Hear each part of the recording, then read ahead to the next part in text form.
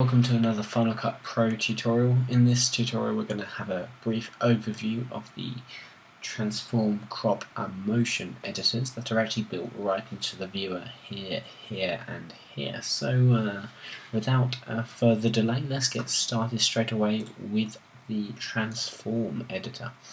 So we've got our clip selected in the timeline.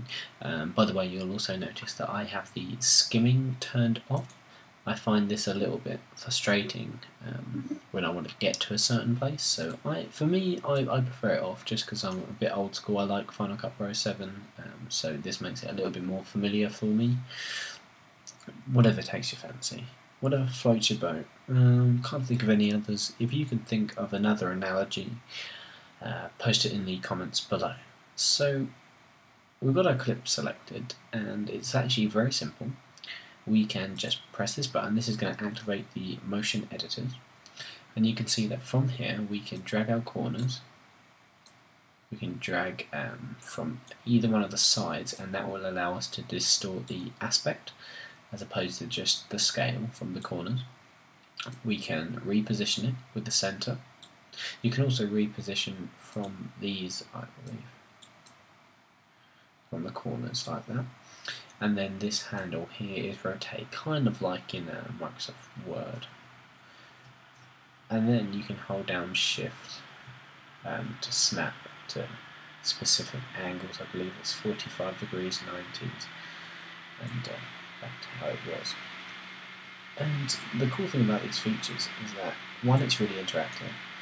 And second we can actually add keyframes. So up here is a button that allows us to add a keyframe. We can just click that button there now we can travel forward in time, add another keyframe, and move the shot over to here.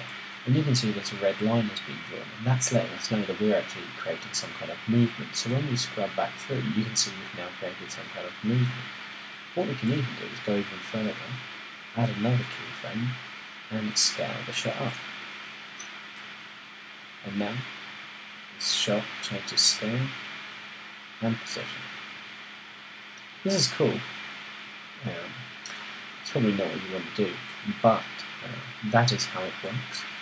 You can turn off the tools here, but it is going to remember your transformations. If you want to turn off what you've done, just head over into the inspector. And you can see that our transform tool is here. We can turn that off and that will revert us back to how it is. But what's cool is that it's actually going to remember everything we've done. So if we want to actually turn it back on, we can just check this box in and everything we did has been remembered. And the other tools actually work the same, so let's go to the next clip and uh, try out the crop tool.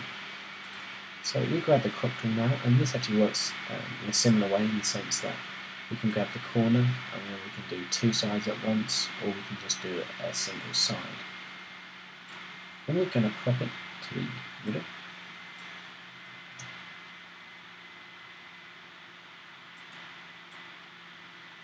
Like that.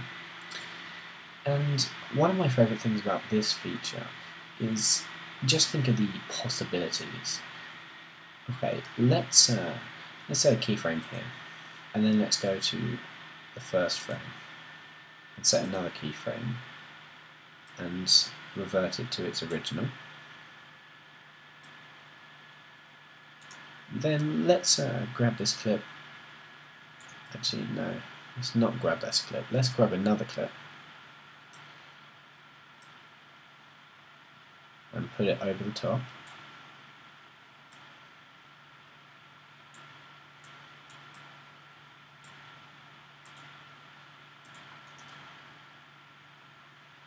And disable this layer so that we can see the layer below. We can just hit V uh, to where it cut, trims, so it stops about there.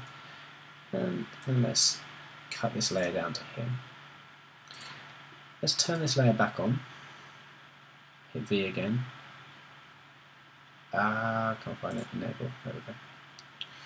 And because our crop tool is still activated, we can now apply the crop to this layer.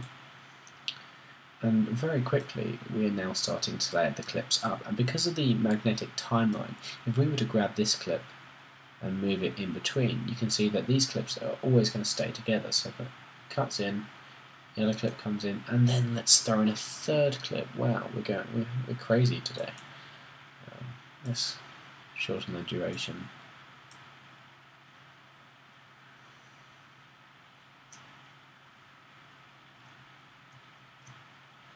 To uh, there.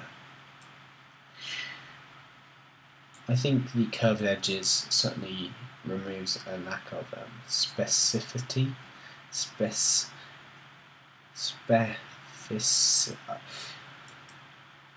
It gives you less control.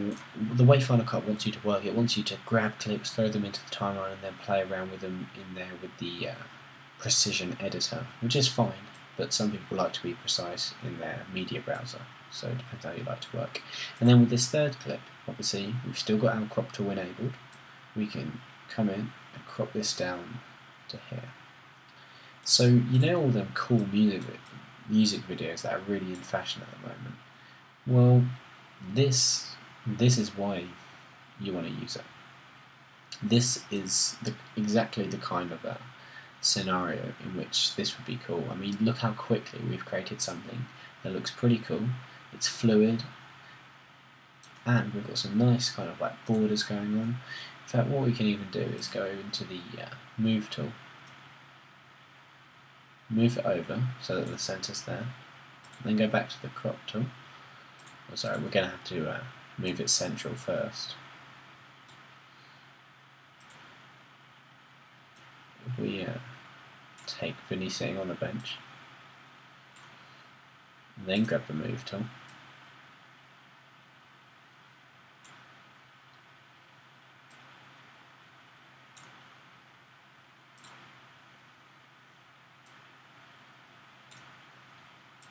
And very quickly.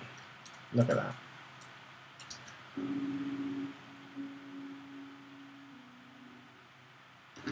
Well, we weren't actually doing anything, yes. But obviously there was some horrible audio there that we just decreased the sound levels down. If you check out the tutorial for working with sound in Final Cut Pro on my channel, uh, youtube.com forward slash Dan on a bouncy castle or youtube.danallenfilms.com takes me you right to my YouTube page. So you can see here the kind of effects that you can create really quickly. So if you're one of the musician artists, um, you can see there's loads of flexibility to layer up all your audio tracks and cut some pretty cool music videos. I mean, if you are a YouTube user, I honestly cannot think of a better program. I cannot advise a better program than Final Cut Pro 10. Um, and I, I am being honest that this is what it was made for. It's uh, very much is. So with this in mind, let's uh, just grab this clip and throw it back to here, and then introduce ourselves to the final manipulator, which is the distort effect, also known as, well, it was known as motion, I don't know. Uh, so we click on that to activate it, as you do with any other effect. And the way this works is that you can grab the corners and that uh, distorts diagonally and then you can move it around. It's kind of like a corner pin effect. I think that's the best way to look at it if you're familiar with uh, other visual effects programs.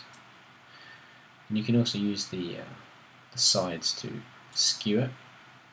For instance, if we just command Z back to the original, you can notice that that really is a skew effect but obviously you can move it up and down as well. If you hold down shift, you can limit yourself to one direction, not the group one direction, but actually one uh, axis of movement. It's probably a cleverer way to say it. And just like anything else, it's keyframeable. So let's add a keyframe. Let's go back to the first frame. Let's throw that up there. Right, maybe what we need to do. We need to zoom into our timeline, not our view. We just click up here and go back to fit. Make sure our timeline is selected and then zoom into there. Let's just ensure that all of these line up with the edit point.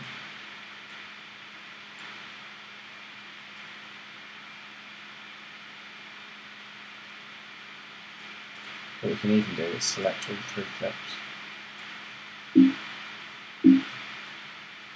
go over to our transitions and add designs. Click on them.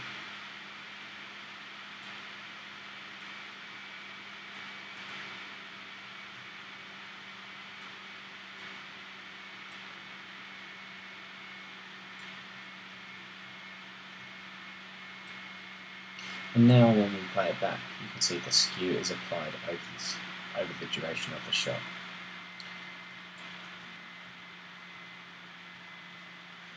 So very quickly we've introduced ourselves to these tools and like with all of these tools, if we go into our inspector you can see that we can actually turn off all of these. We've got the crop tool and the distort tool. If you turn off distort it's back to how it was but it remembers the information we told it, and I think that is very important in doing so. So I hope this tutorial was informative. I actually think this is one of the coolest things about the new Final Cut, the ability to very quickly manipulate your footage. Uh, my favourite is the crop tool, um, similar to a garbage matte in most other applications, but quicker if this is the kind of thing you want to do, like I said, there is nothing better. And you can see that the effects applied do need to be rendered. If we press Command 9, you can see our background renderer. And that is just working away very quickly.